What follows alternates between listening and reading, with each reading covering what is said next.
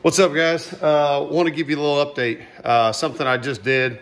Um, it was really a, a, a test. I thought it was going to work, um, but when it came down to, it, I haven't seen any videos on it, so I thought I'd just share with you. Uh, as you can see, I got the Panoptix running. Uh, so I did the, I installed Garmin Panoptix. Uh, bought a nice package from. Uh, it was uh, one of those packages from the Bass Tank. Um, those guys are great, by the way.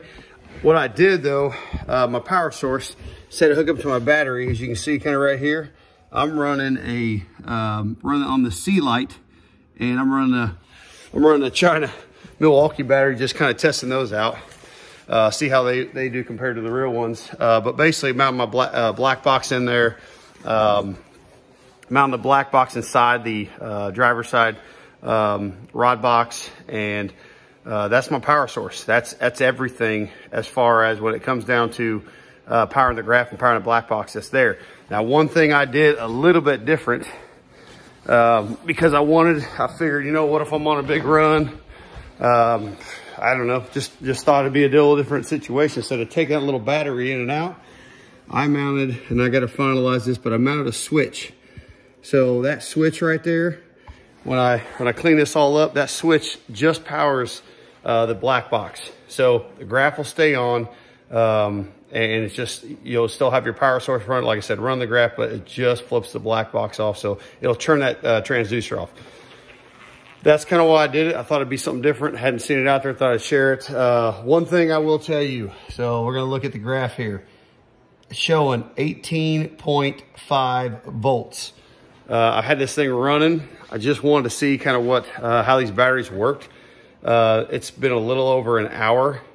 Um, I'd say about an hour and 20 minutes, roughly. And uh, it started out, actually, those Milwaukee, that's a China Mill, uh, one, uh, that's, that's a generic knockoff made Milwaukee battery. That started out at 20 volts on the graph. Because Garmin's, that you know, they don't need a voltage regulator. Lowrance's, they do. Uh, Seelite, that company that makes this stuff, they have a voltage, a voltage regulator that you can buy if you have uh, Lowrance Active Target but Garmin's can handle 10 to 30 volts. So being that they could handle it, that's why I went with uh, that and, and uh, it was readily available. The active target's all pre-order. So I wanted something now to install. And um, so anyway, all it boils down to is that battery is giving me, looks like I got about hour, 20 minutes to drop 1.4, 1.5 uh, volts, an hour and 20 minutes. That's a, that's a five, uh, six amp hour uh, knockoff one.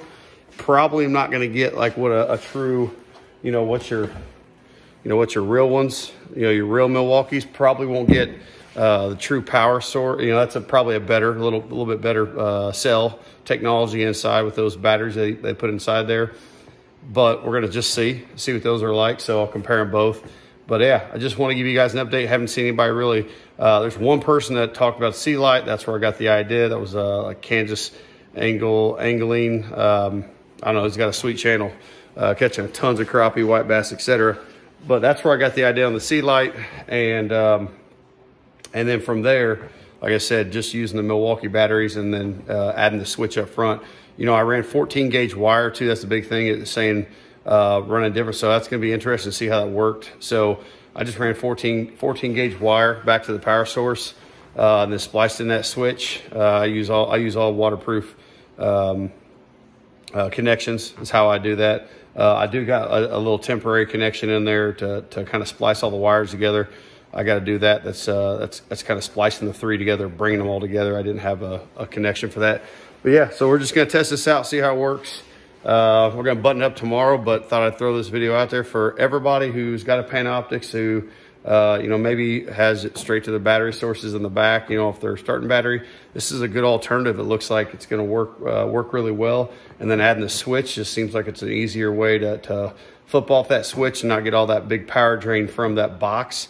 Um, and, and, you'll be able to be able to make long runs and not worry about you know you know make a 20 30 minute run not drain some volts out of your uh, out of that battery. So just just way to be a little more efficient. So wanted to put it out there for you guys. Have a great evening and uh, till the next